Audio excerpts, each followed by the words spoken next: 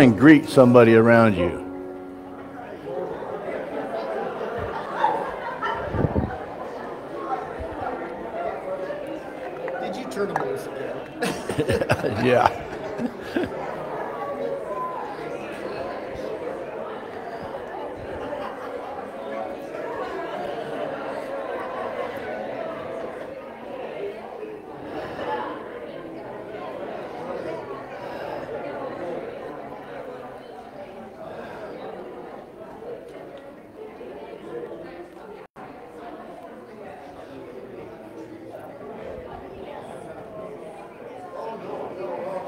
Okay, that's enough.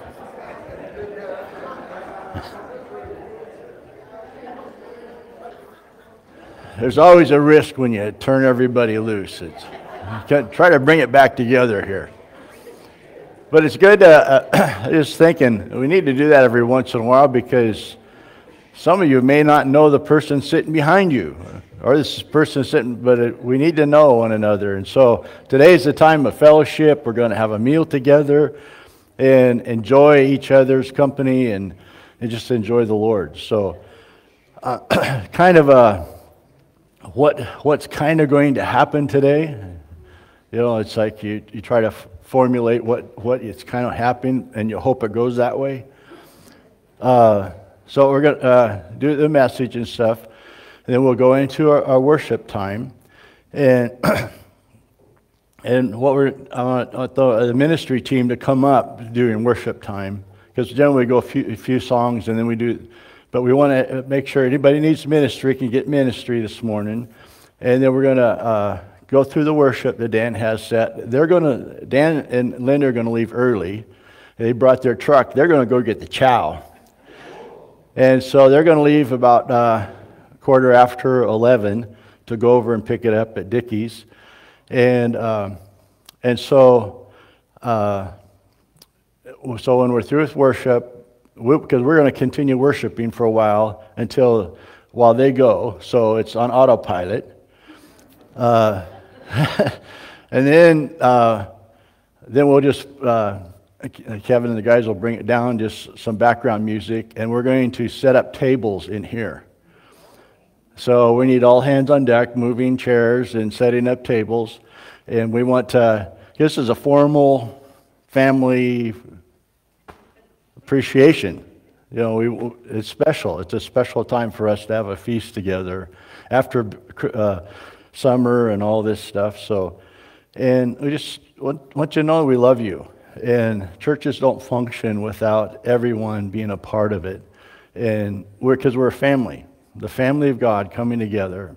And so I appreciate every one of you that, that's, that's here today, and, and there may be some more coming. And so this is a, a great day. So, so let's get into God's Word.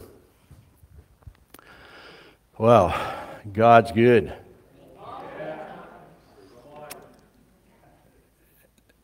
It's, it's so cool what God is doing in our lives if we truly understand what it is to be a child of God and coming into the fullness of that. Oh, I got to do something here before it bothers me. Republican Party, they were here this week, and they put the pulpit too far forward, and this is my walkway.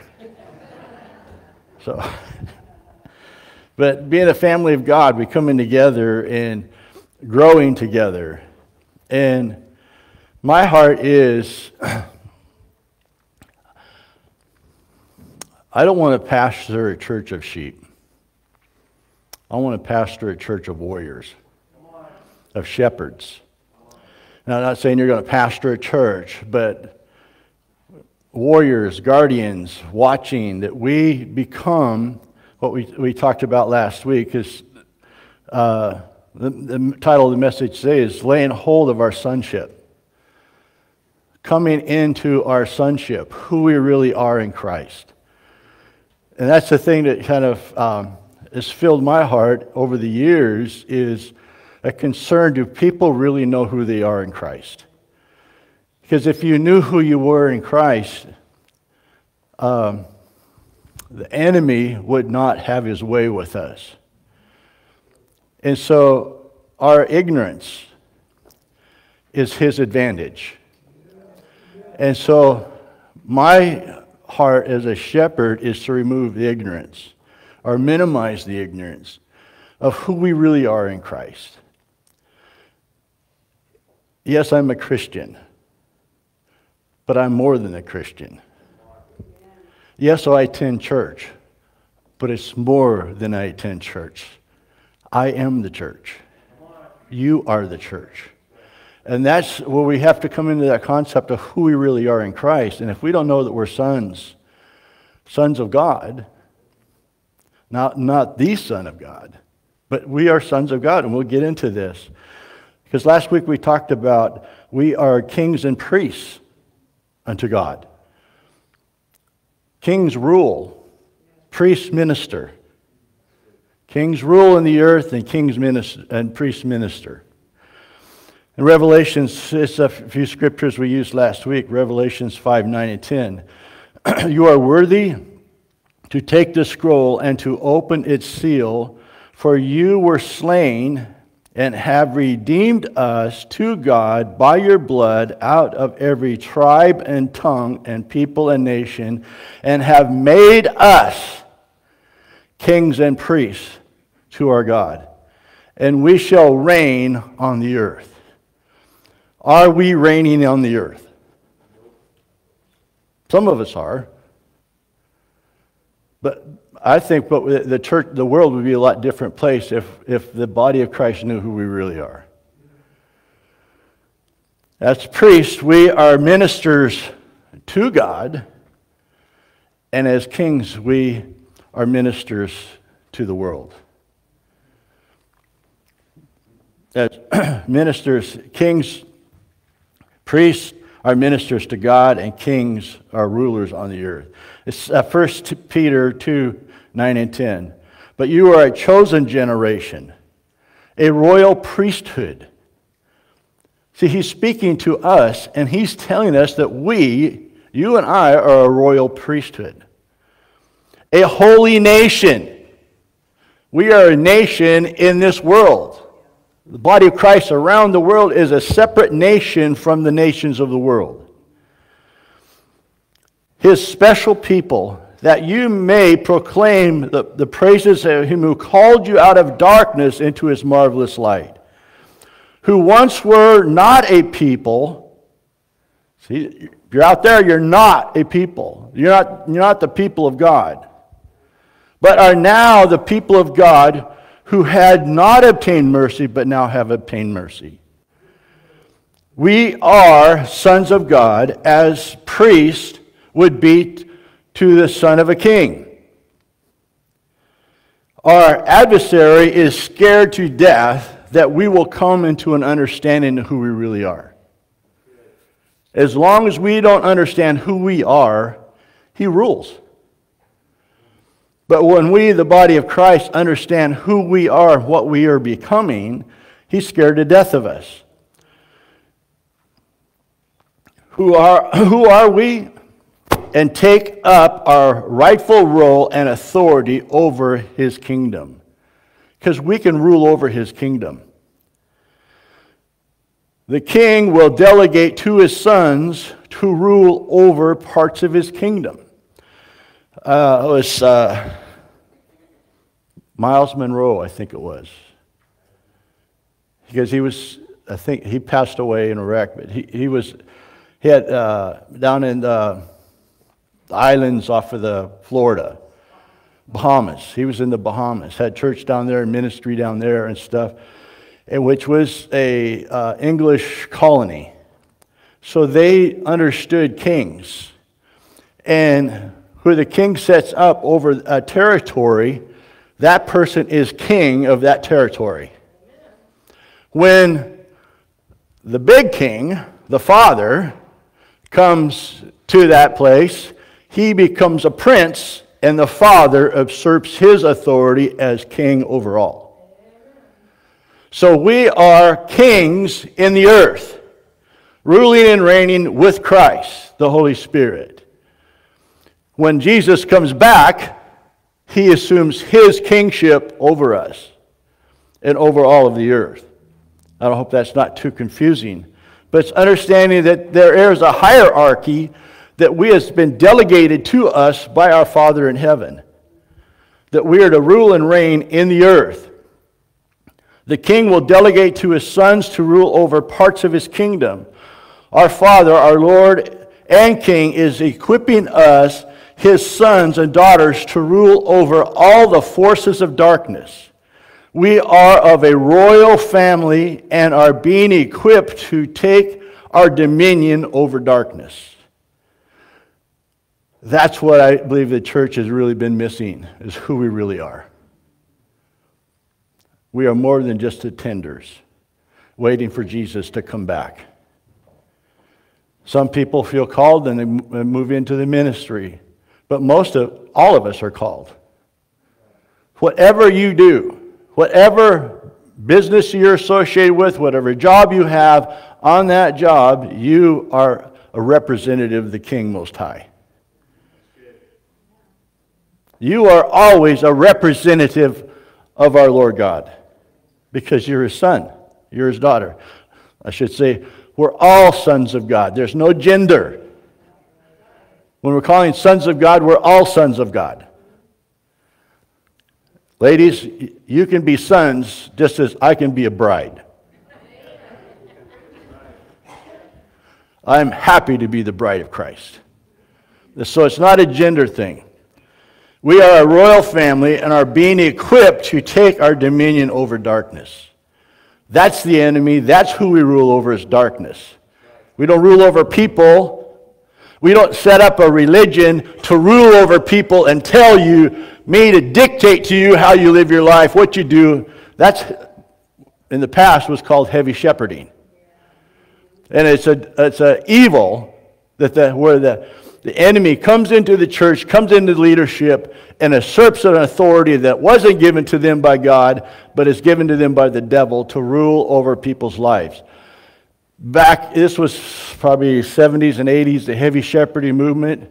You couldn't buy a car unless you got approval of the pastor and the eldership. You couldn't buy a house. You, had, you couldn't do anything. You had to get approval. And approve, and prove that uh, you're making sure your tithes and offerings are coming in. That was heavy shepherding. It was evil. And that's what the devil wants to do is enter into the church and pervert it. Pervert it so the church never becomes what she's destined to be. in Philippians 3 12 through 14. Not that I have already attained or am already perfected, but I press on that I may lay hold of that which Christ has also laid hold of me. Brethren, I do not count myself to have apprehended. This is Paul speaking. He hasn't, he, if anybody, he should have obtained, but he was still pressing in. His whole life on this earth is pressing in Pressing in. But one thing I do, forgetting those things which are behind, my old life, my old past, reaching forward to those things which are ahead, I press towards the goal, the prize, the upper calling in Christ Jesus. That should be every one of our hearts is pressing into God. Pressing into what, Lord, you've called me to be. Whatever wherever you are, whatever you do, where, Lord, where in this business, this is this job, whatever, in school, whatever, Lord, use me. I am here to be used. Use me. Laying hold comes from the word cat, katalambano, is to take eagerly, to seize, possess, apprehend, or attain. So this means that I am reaching in to obtain it. I am pressing into God with all my heart, all my soul. I want to be what Christ has created me to be. What the Holy Spirit is inside of me. I want it. I want it for all of us. There is an overcoming remnant that has and is pressing their way to the mountain, top of Mount Zion. There are people that are pressing in. Pressing in. These men and women are partakers of a divine nature that we've been talking about. Here, here in Second, uh, Peter, he talks about by, by which have been given to us exceeding great and precious promises, that through these you may be partakers of a divine nature. Why would Peter say that if it wasn't possible? Why would he lie to us? He's not lying. He's speaking by the Holy Spirit, and the Holy Spirit says, You are partakers of a divine nature. Having escaped the corruption that is in the world through lust. So, what is the purpose for us to be partakers of this divine nature? So we can uh, sit around and wait for Jesus to come back and just sing and worship, which is great. But is that what it's about? It just we gather together inside the four walls of the church. We're safe in here, and we will just exalt the Lord and lift the Lord up, and we will pat each other on the back. We have made it. Is that what it's all about? How boring. We're here for a purpose. It's for out there. Our families, our friends, our neighbors, our loved ones out there that we come together and we get built up by the Holy Spirit and encouraged by the Holy Spirit that, yes, I can do it. It's like the locker room before you go out on a football field. Today, the Seahawks start off. They're probably already over there in the locker room and they're just pumping each other up and slamming each other. Man, we're going to kill them today. That's what we should be doing when we come together at church. We're going to kick the devil's rear end this week. We're going to do it. We're going to save some people. We're going to get some people set free. We're going to do it. Yeah! And after churches, we run out the door. Yeah! They just released the heaven and the earth. Here we come. Watch out, devil.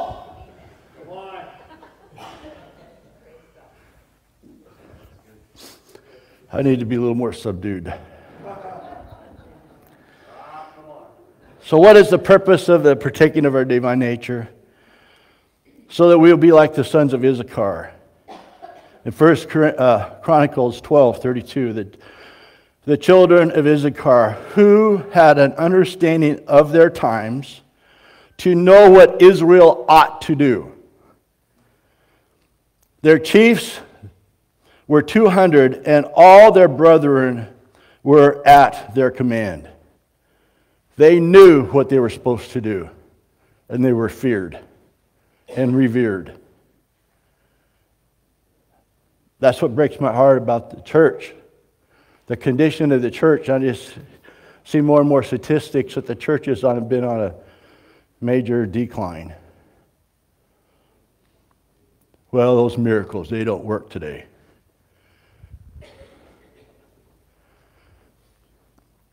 We're living in the seventh day of creation. We're living in the third watch of the church. We're in the final hours before the return of Christ. But, folks, we have work to do. This, this is, this is our, our work. We have to get busy. The church is and has been blind to who she really is. That's why the church has been declining. Do you believe that if people were seeing signs and wonders and miracles and people getting healed and delivered and set free, people's lives been totally changed and transformed, that people would be walking away? That's what the early church was doing, the first church. And they didn't care if, if they got killed in the lion's den. I'm sure they didn't like going in the lion's den. But in the midst of that, they're still proclaiming the gospel.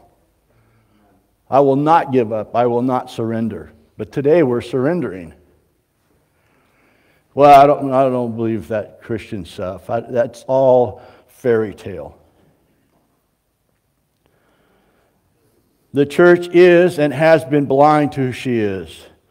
Jesus and the Holy Spirit are establishing his kingdom in the church. The church, the ecclesia, are the called out or the assembly of believers. We are the ecclesia. because we have assembled here. In John 18:36, and John answered, "My kingdom is not of this world. If my kingdom were of this world, my servants would give up, surrender, fight, so that I should not be delivered to the Jews. But now my kingdom is not here. It wasn't time to fight then but it's time to fight now. And not fight just to exist, fight to save souls, fight to expand the kingdom of God, fight against the forces of darkness. That's what we're here for. The kingdom of God is the realm within which the will of God is carried out without any, any interference. The church is ordained to be in the realm within God's authority, where uh, within God's authority is exercised. God's authority flowing through the church to this world. There's four principles here. The foundation of the kingdom is I must be after God's heart. Next slide. I must be must be the desire of my heart is I want your heart, God. It's one thing to be motivated by intellect, but what's totally different when you're motivated by your heart.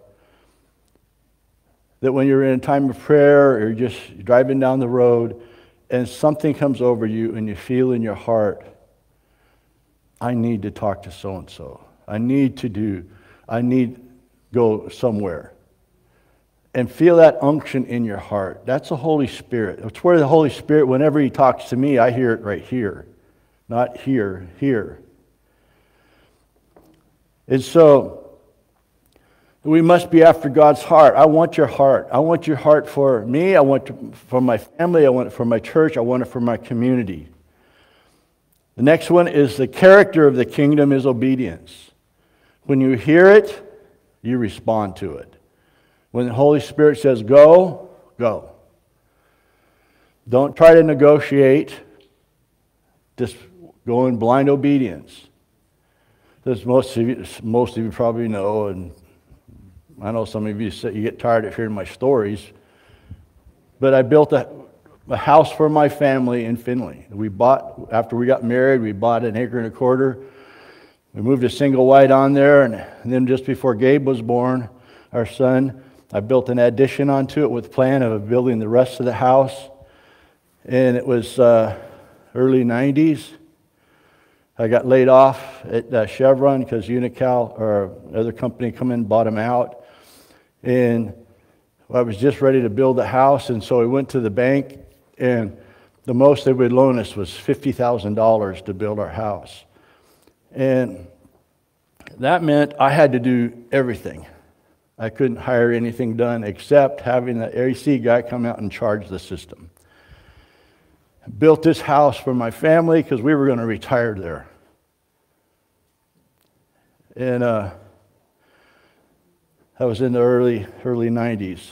I took two, two years sabbatical from the church because all I had, I had to work other jobs, but I had to uh, be out there working. And so we, we got the house done and lived in it two, I don't know, two, three years. I was praying, it's a long story, but my best friend died. I went through a dark night of the soul, searching, Lord, what do you want for us? Where do you want, what's, where are we going? I, I, I feel lost. And I was praying in my office. I, at that moment, I said, I'll go to Africa if you want me to go to Africa. There has to be something change. And I got through praying and heard Yakima go through my mind. I went and told Shirley, I said, What do you think about going to Yakima? Yakima? What's in Yakima?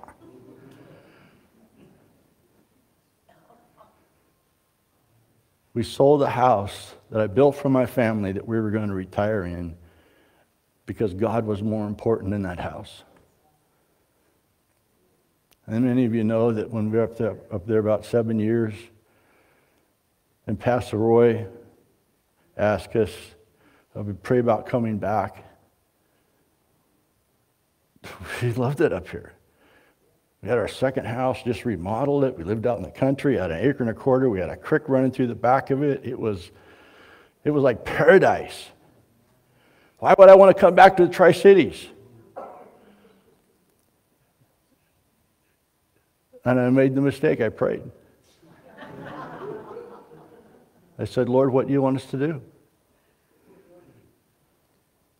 You got to go back and take care of your family. That's how I see you. I'm not here to be a pastor, I'm here to be a brother and to love my family. And I praise God, our family is growing.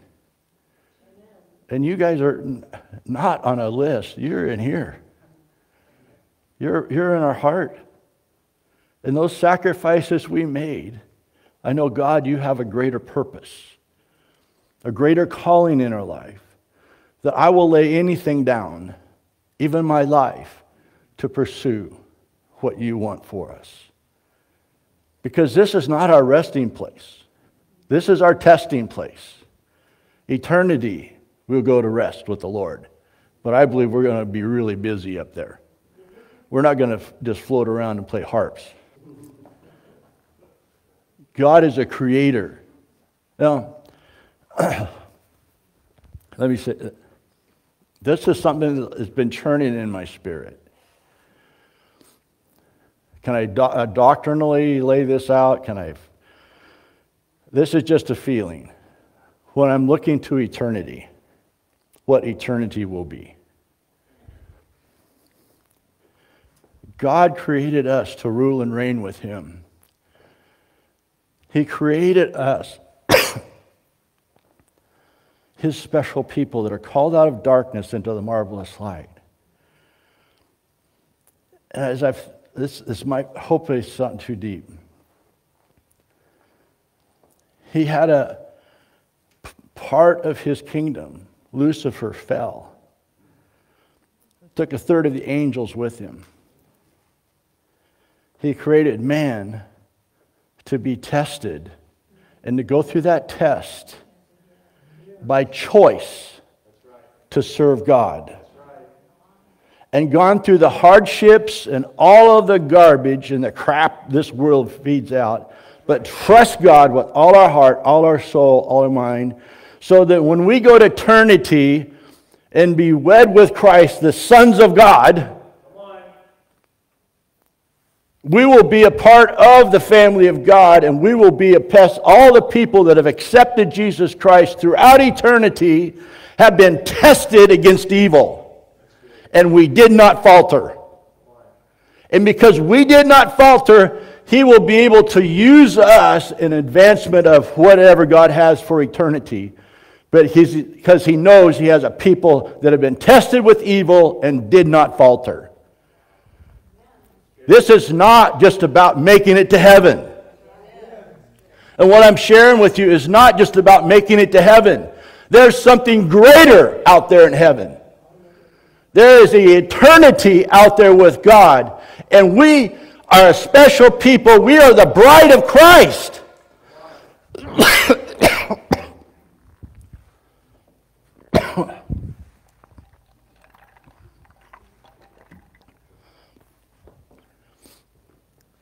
My wife has is just uh, uh, everything that I have is hers, and everything she has is mine.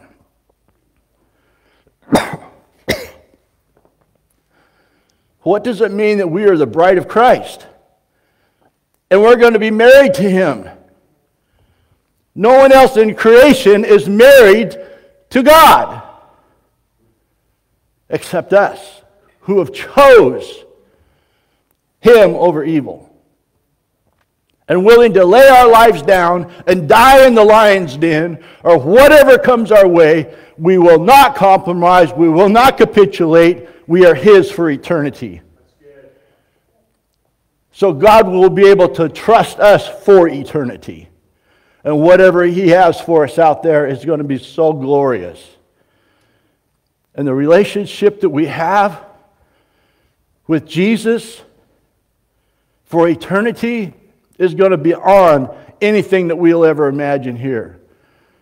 But I guess the essence of what I'm saying here is that I lost my tablet. Praise the Lord. Is that we are created and we're going through a process of growing and maturing in God. That we have our eyes on Him and not on the world. Not on what people say, not on the news media, whatever happens out there, our eyes are on Him and Him alone. As Jesus says, My kingdom is not of this world. This is not the kingdom. This, the kingdom is going to be out there. It's not of this world. My kingdom is where, if my kingdom were of this world, my servants would fight, so that I should not be delivered to the Jews. But now my kingdom is not from here. The kingdom of God is the realm within which the will of God is carried out without interference. The church is ordained to be in the, in the realm within God's authority to exercise his will. the foundation of the kingdom, I must be after God's heart. The character kingdom is obedience. I walk in obedience to him. You say it, I'm going to do it. Even a great sacrifice, selling our home twice. Lord, I want to be in your will. Because if I'm in your will, I know you'll take care of all my needs according to your riches and glory. I want my will to be conformed to your will. The principle of the kingdom God exalts those who humble themselves. If you want to be great in the kingdom, humble yourself. That's why I say I'm, I'm just a brother. Somebody said, Well, you're, you're the pastor, you're, you're special. You can think that, but I think I'm a nobody. Because I don't want in my own mind to think a, I become somebody. Look how great I am. Because that has brought many ministries down. I am nothing except what you make me, God. It's all in your hands. The principle of the kingdom is God exalts those humble themselves. Evidence of the kingdom are the manifestations. The manifestations of God touching our lives. The manifestation of the glory of God moving in our lives. Matthew 11, 1 through 6. Now it came to pass when Jesus finished commanding his 12 disciples that he departed from there to teach to preach in the cities. And when John had heard in prison about the works of Jesus, he sent two of his disciples and said unto him, Are you the coming one, or should we look for another? Jesus answered and said to them, Go tell John the things which you hear and see. Hear and see. The blind see, the lame walk, the lepers are cleansed, the deaf hear, the dead are raised, the poor have the gospel preached to them. And blessed is he who comes in the name of the Lord. What's the evidence that God's in the house? The blind see, the lame walk, the lepers are cleansed, the deaf hear, the dead are raised, the poor have the gospel preached to them. That's the evidence of the kingdom. Not how great my preaching is. It's not about me. It's about God moving through. If I am successful in what He has called me to do, you will be moving in signs and wonders and miracles. I would like to do one once in a while. Ephesians. It's called some apostles, prophets, evangelists, pastors, and teachers for the perfecting of the saints, for the work of the ministry, for the edifying of the body of Christ, till we all come into the, to the measure and stature and fullness of Christ. So, what's my job is to equip you for the work of the ministry. Oh, here's my, my sister needs to be healed. We got to get it to the pastor.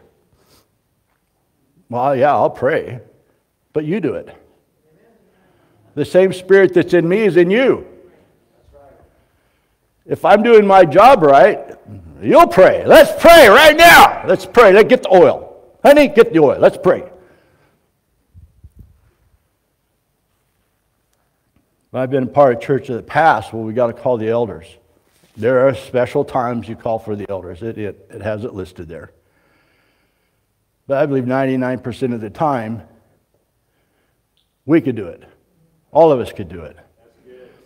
We are coming into a clashing of two kingdoms, and it's going to be violent. We can see what's going on in our nation, we can see what's going on in the world. Darkness is rising. And the clash of the kingdom of light and the kingdom of darkness is going to take place. Matthew 12, 11, 12. And from the days of John the Baptist until the kingdom of heaven kingdom of heaven suffereth violent, and the violent take it by force. Who is this great kingdom, a great conflict of kingdom with? Matthew 16. And I also say unto you that you are Peter, and upon this rock I'll build my church, and the gates of hell is the enemy, will not prevail against it. And I will give you the keys of the kingdom. And whatsoever you bind on earth will be bound in heaven. Whatsoever you loose on earth will be loosed in heaven. That's all of us can bind and loose. Why? Because we're the sons of God. In the clash of kingdom, kingdoms, God has given us authority, authority which is symbolic of keys. Excuse me.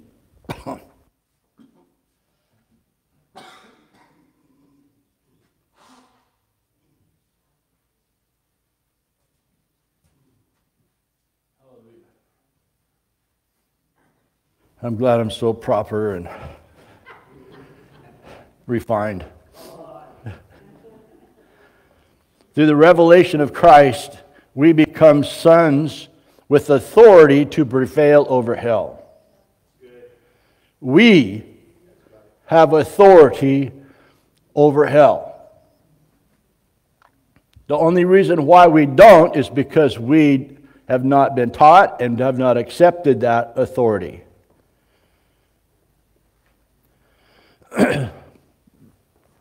Question is, is are you a, chi- a child of God? Well, children don't fight wars. We come in as children. That was kind of a trick question. We come in as children, but the idea is not to stay children. It's to grow in our faith, grow in our authority, grow in our understanding of who we really are in Christ, so that we can take authority over situations. Things arise in our family, we don't have to wait two days to get the pastor to come over. We'll take care of it right now. Because I know the authority that's instilled in me by the Holy Spirit. The Holy Spirit is inside of me. I can fast and pray for my family. I can intercede and pray for my family. We have been given power in faith to speak to mountains.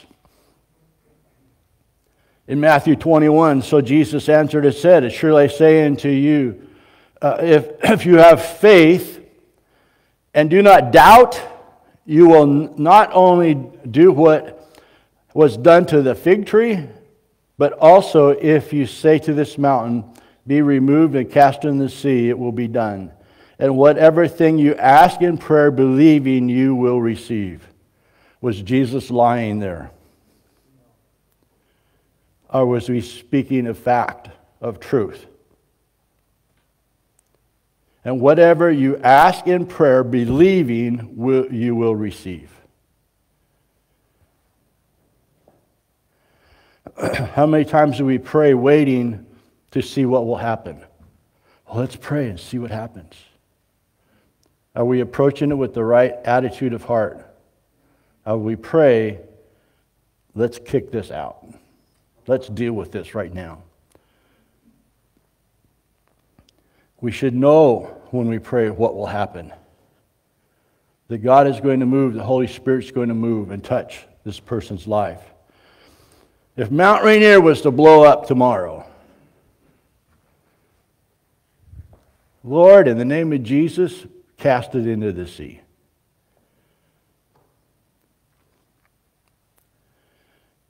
This was years ago. Pastor Larry Lee was in uh, Texas. He was building, they were building a brand new sanctuary. They had the land all leveled. They were pouring the concrete slab for their, their new facility. and a Texas thunderstorm was coming right at him, right at him. Pastor, what are we going to do? We got all this fresh concrete out there. He walked to the edge of the property. In the name of Jesus, storm part. And the storm split and went right around the property. It was raining on both sides of him, but where the property was, it did not rain. Well, I can't do that. Yeah, with that attitude of heart, you can't do that. But see, the Lord wants us to grow in the attitude of our heart is, I can do that. You ever seen a little kid growing up? And we all had kids and say, I want to do it, Papa. I want to do it. Let me do it. Let me do it. That's the way we should be. Lord, I saw you do it. Let me do it. I want to do it. As sons, God has given us authority to command the works of his hand. In Isaiah 45 11, thus says the Lord, the Holy One of Israel and his Maker Ask me of things to come concerning my sons and concerning the works of my hand, command me. Works, a work, a deed, a doing, a thing done. Hand, strength, power. Command to give, charge to, to give command to. So, what God has done here is the Lord has done in Isaiah, He has commissioned us to command the works of His hand. We're not commanding God, the works of His hand. That we know the heart of God to save people, to set people free. I command the works of uh, the hand of Jesus. I don't have to say that, but I, I, what I'm saying is when I cast you out, devil, in the name of Jesus, what have I just done? I commanded the work of his hand. Be thou bound, Satan. I'm commanding the works of his hand. Job 22, 28. You will also decree a thing, and it will be established for you, so light will shine on your way. Decree a thing. We will be prosperous. When COVID hit and churches were shutting down, I decreed we're going to go through this in the name of Jesus, and we're not going to feel anything. You know what? We went through it. Our finances stayed there. Everything was. And back that time, we were, we were not as many people as we have here right now. And actually, God brought in more finances than we needed. He has provided for us every year. Because we stand up and believe that God, you have established His here, and you are going to use us. And so, if you establish this here, you will provide for us. Lord, you've called me to do this.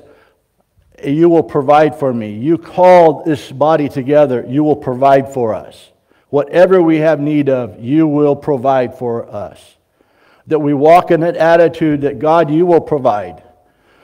Well, what happens if we're if the power goes out? What happens if the stores or trucks don't can't drive anymore because diesel price is so high and all this? We could go down all these roads. God, you're going to provide for us, even if we have to eat out of a manna from heaven. As long as we're here, Lord, you're going to provide for us. And I know I could fast a few more days with no problem at all.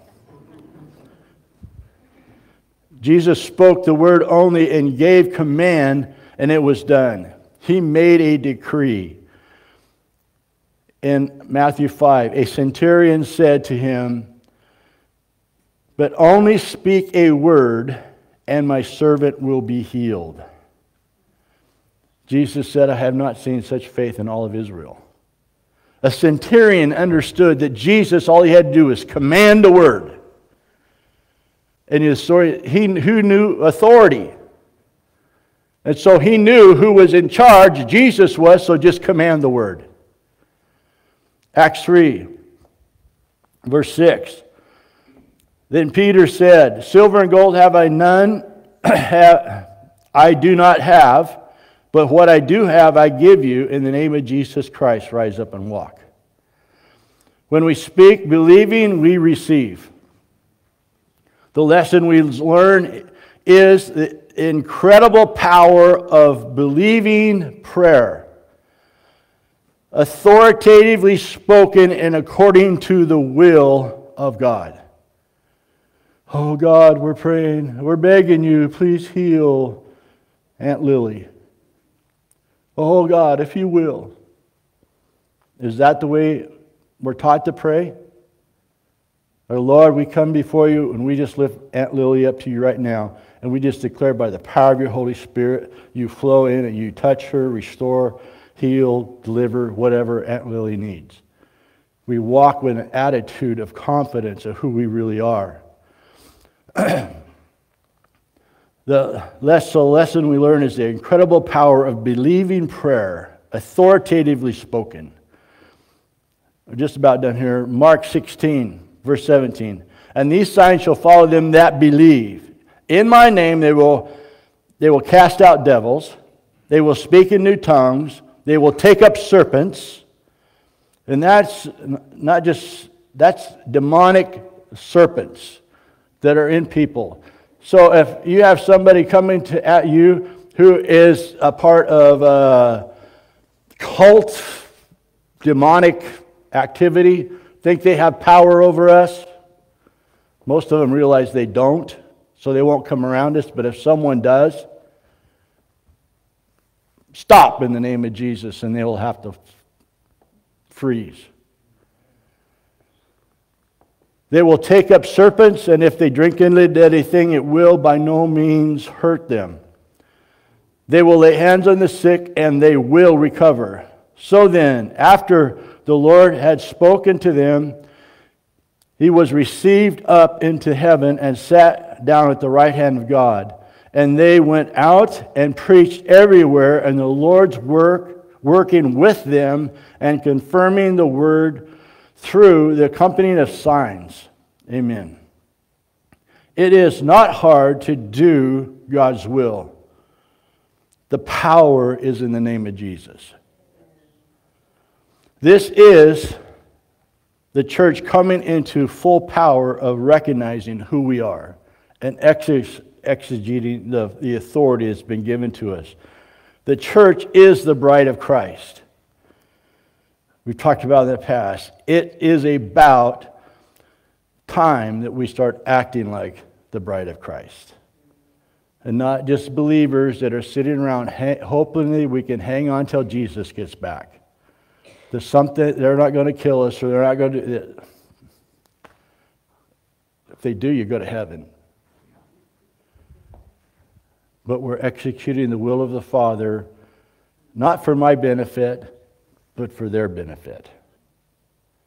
For the people out there that we know, loved ones that we know, people in the street, people out in the community that we run across in our jobs and our businesses, whatever we do, we are there for them to share with them. Here's a word that the Lord gave me a couple nights ago. The Holy Spirit is in the process of building spiritual strongholds in your life. We talk about dark strongholds, but the Holy Spirit is building spiritual strongholds in your life. he must tear down ungodly strongholds in our life. That's the process that we go through, every one of us. Those old godly things that we've held on to and beliefs that we've had, those get tear, tore down and we rebuild the kingdom of God in our heart, the strongholds of God. So we, so we are, must tear down ungodly strongholds that work against you becoming who God has created you to be. Those, those things, if we hang on to those things, they will present, prevent us from coming into the fullness who Christ wants us to be. Unless, if they are not torn down, they will continue to work against your sonship and you will remain a child. The choice is ours. The choice is we, each one of us, move forward and say, Lord, I want to be a son. I want to be, I want to flow in the fullness of what you have destined for me. I don't want to play church, I want to be the church. I want to move out in the power of the authority. And I want to be able to pray and decree over my children and my grandchildren. I want to, I want to be able to move in the flower and power. And I want, to, I want to pray for us right now, but I want to pray for a release in our minds, in our minds and hearts, that the things that are past would be torn out of our minds and hearts that are not godly, because most of the warfare happens right here. We, if we win it here and get it down here, we will be big, victorious. Dan? So, what we're going to do as I, as I close this here prayer, we'll go into worship. The ministry team can come up and we'll worship up here. If you need prayer, we want to pray over you. And so, so if Dan leaves the stage in about 15 minutes or so, when they leave, don't worry about it. We'll just continue to worship. We'll continue to minister. The best ministry right now is between you and the Lord. Lord, open my heart. Reveal anything in my heart. Reveal any wicked way in me. If there's any thoughts that I've had that I've held on to that I, I need to get rid of, Lord, help me get rid of these. Lord, that I can walk into the fullness of what you have for me. Some of the some people that are uh, you would think the most feeble, older, an older lady that's feeble can be the most powerful warrior in the kingdom of God. And they can set a thousand to flight by praying in their prayer room.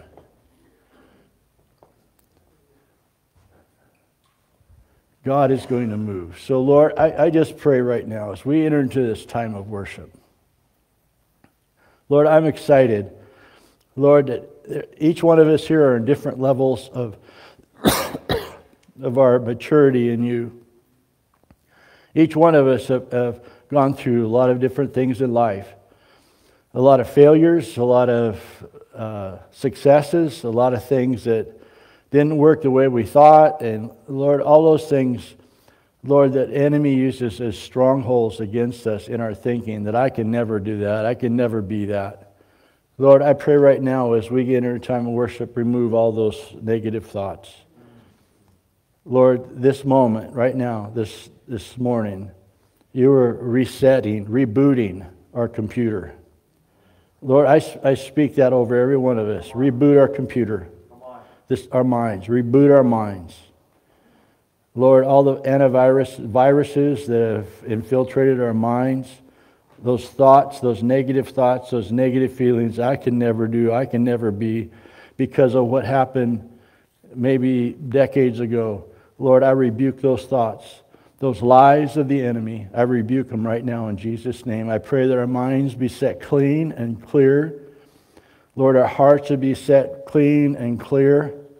Lord, all the failures of the past, Lord, I pray right now they be washed out of our hearts. As we enter into this time of worship, wash us, overshadow us, clear, clean us out. Lord, this, this day is your day that you are doing a work in us. You are doing something in us to bring us, bring us, every one of us, to a whole new dimension of our relationship with you, the relationship with the body of Christ, and how we see ourselves. Lord, I pray that as we come through this, Lord, we will see ourselves as who we really are, the sons of God.